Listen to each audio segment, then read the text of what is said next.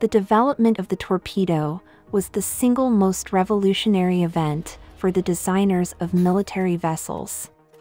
Torpedoes, which may strike the ship below the sea line, have the potential to send a tremendous amount of explosive force to a location on a warship that is not well fortified.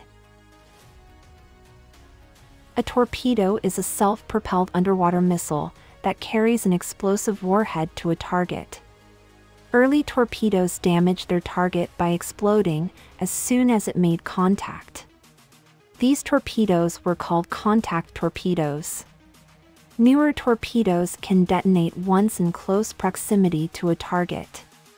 These proximity torpedoes do not even have to touch the ship to inflict damage upon it. The main difference between a torpedo and a missile is that torpedoes are self-propelled explosives, often launched below or slightly above the surface of the water.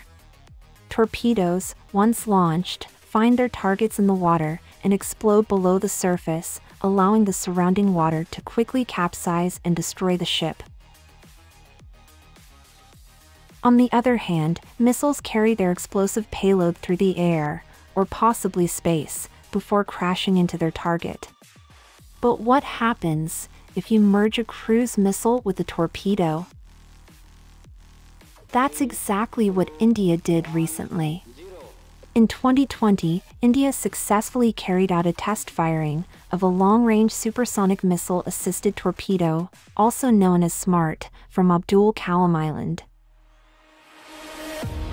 The DRDO's SMART project seemed mysterious, because there were few details about what the system was. This was different from the programs to make ballistic missiles or stealth fighters. The Ministry of Defense's annual report for 2018 gave one of the first details about what SMART is. In the report, the Ministry of Defense said DRDO has taken up a project to develop and demonstrate a missile assisted release of lightweight anti-submarine torpedo system for ASW operations far beyond torpedo range. The Ministry of Defense also said that tests of ejection had been done with the Torpedo Advanced Light, or TAL, which is a torpedo made in India and is also known as the Shyena. DRDO has set all mission objectives, including the missile's flight up to the designated range and altitude, separation of its nose cone, release of the torpedo, and deployment of velocity reduction mechanism were met perfectly. Velocity reduction mechanism is needed for the missile because its speed needs to slow down so it can launch the lightweight torpedo without sending it into an out of control.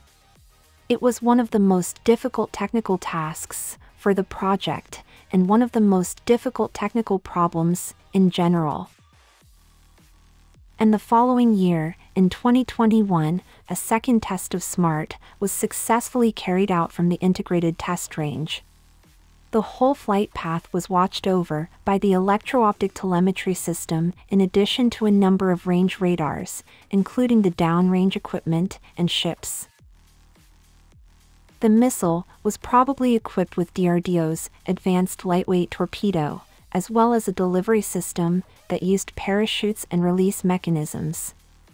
Surface warships, especially in the West, have usually carried lightweight torpedoes as their main anti-submarine weapon since heavyweight torpedoes are much bigger and can only be carried a few at a time. However, lightweight torpedoes have a shorter range. Because of their short range, lightweight torpedoes are usually used to defend against enemy submarines. This is where rocket-assisted torpedoes come in. Not only do they help extend a torpedo's range, but they also help it travel farther in less time.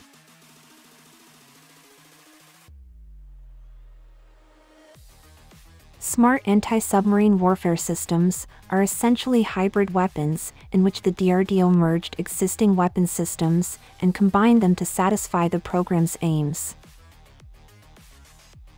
The very first thing that they did was take their solid-fuel supersonic cruise missile booster and also added a data link to the missile.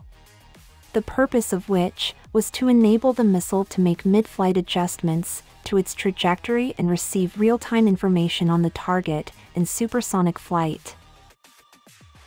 As soon as it is established, beyond a reasonable doubt, that a hostile submarine is present in the area, the smart ASW will fire, and the missile will take some time to reach its target as it flies through the air.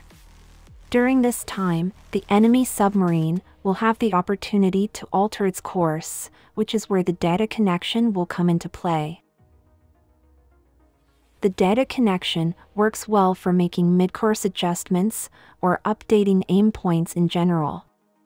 During this specific span of time, the torpedo will lie dormant within the missile until it is released into the water. If it works like the one made in the US, the Indian missile will launch, let go of its booster, and then take the torpedo out of its casing. A parachute is used to drop the torpedo from the missile so that it hits the water softly. The torpedo will then drop nose first into the water, detach its parachute at the surface, and the torpedo will then begin its search for hostile submarines. Weapon systems like these are more difficult to detect when compared to delivering the identical torpedo by aircraft or boat, which both have bigger and more persistent radar signals. This is because missiles that fall into the sea after releasing a torpedo into the ocean have a smaller radar signature. The threat of naval conflict is raised by the proliferation of anti-ship and anti-submarine weapons like these. India, like its neighbors, China and Pakistan, has a nuclear arsenal. But having a diverse collection of weapons allows the country's military and political authorities to react to possible threats in a number of different ways. Thanks to SMART, the Indian Navy can now engage hostile submarines from great distances.